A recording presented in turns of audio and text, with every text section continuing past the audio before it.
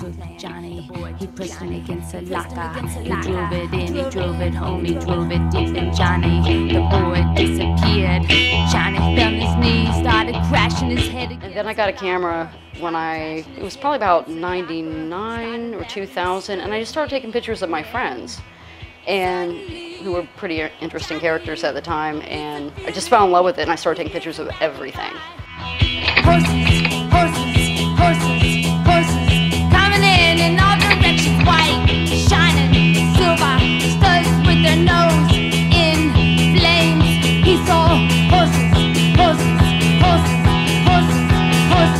usually it's colors and lighting, and sometimes really it is just inanimate objects. Sometimes, like I had this beer can on my back porch from a, party that my neighbors had, and it was just sitting there for days and days and days. And I was outside, you know, smoking and drinking some coffee in the morning, and the light hit it just a certain way, and it was PBR for crying out loud. So I was like, I got to do something with this.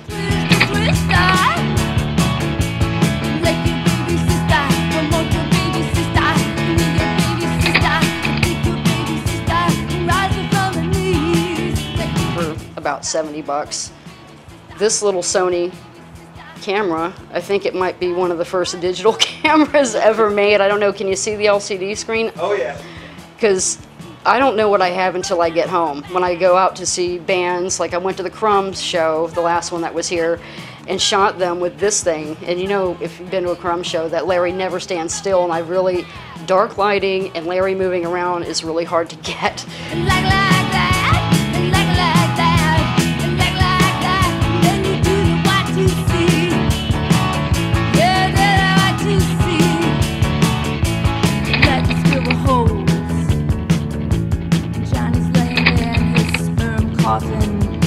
Angel looks down at him and says, Oh, pretty boy, can't you show me nothing but surrender? Like I can hear music in my head sometimes. Patti Smith's a big influence of mine.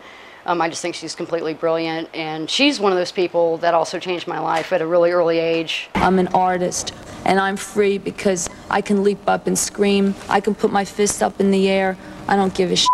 Um, I saw her on Saturday Night Live. I think I was 11, maybe. I got to stay up late on the weekends, and she came out, and I had never seen anything like that in my life. It was always like Joni Mitchell, you know, kind of safe, and then Patti Smith came out, and I was just like, what was that?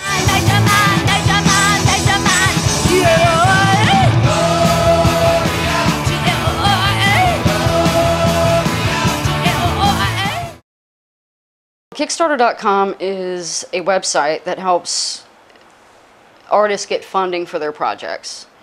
And it's an all or nothing kind of thing. You set a goal, a certain amount of money, and you have a certain amount of time to do it. My big vision, I thought about it later after I started the Kickstarter project, was I think I have something here. I'm thinking this is something that can happen once or twice a year, but not just with me as an artist in it, but with all kinds of local artists, and have like a big rock and roll art show thing a couple times a year, you know, and I think that would be something that would be great for this area. It gives me a reason to give, get up in the morning, you know, quitting the, I was in fine dining or casual fine dining for a good 25 years, and being able to get up and work my ass off for something that is my passion and not somebody else's passion, it gives me a reason to give up, get up. So I just want to keep, just want to keep going just keep going and go to Kickstarter.com. Just because we can get, get around. I don't need that fucking shit. Hope I die because of it.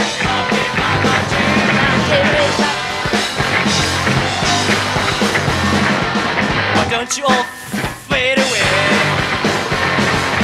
Try to dig what we all.